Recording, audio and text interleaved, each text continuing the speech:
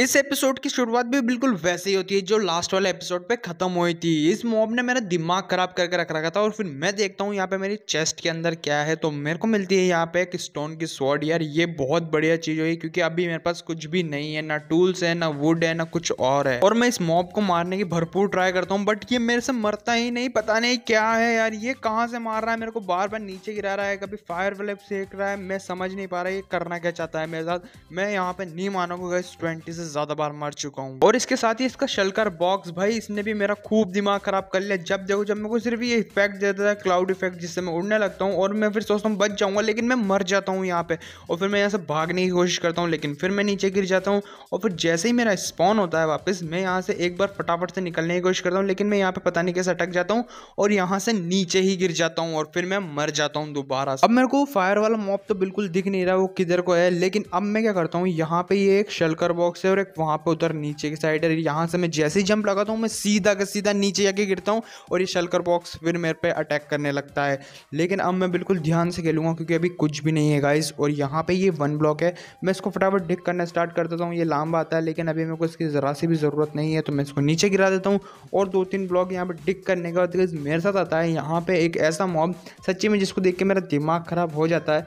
और यहाँ पर ये आया पैरिट लेकिन मेरा इसको कोई काम है ही नहीं तो ये काई को स्पॉन हो गया। अब मेरे पास डर्ट ब्लॉक हो चुके थे, अच्छे खासे तो मैं यहाँ पे लगा देता हूँ, एक डर्ट ब्लॉक इधर, एक इधर, और यहाँ पे बहुत आराम से लगाना पड़ेगा, क्योंकि अगर मैं यहाँ से नीचे गिर गया ना तो बहुत दिक्कत हो जाएगी मेरे को, और मैं यहाँ पे अच्छे खासे लगा देता हूँ, और एक इधर भी लगा देते हैं, क्योंकि मेरे को आने जाने में दिक्कत ना हो। लेकिन इस शलकर बॉक्स ने मेरे को फिर से देख लिया नो नो वे नहीं नहीं, मत मार मत मार, अबे रहन दे मेरे को।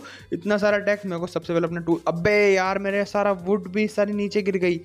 यार, ये शलकर बॉक्स का मैं क्या करूँ? आखिर मेरे को समझ में ही नहीं आ रहा। अब गैस मेरे को यहीं से अपने सारे के सारे प्लैंक्स लेने पड़ेंगे। अगर मैंने यहाँ से प्लैंक्स नहीं लिया ना तो मैं वहाँ से तो बिल्कुल भी नहीं ले सकता। और मैं क्या सोचता हूँ, यहाँ पे मैं आके अपने आराम से टूल्स बना लूँगा। और मैं यहाँ पर आ जाता हूँ और यहाँ क्राफ्टिंग टेबल पर मैं टूल्स बनाने की कोशिश करता हूँ। लेकिन मेरे से एक अपना प्लैंक गलत लग जाता है। पहले तो मेरे पास प्लैंक्स की बहुत ज़्यादा कमी है।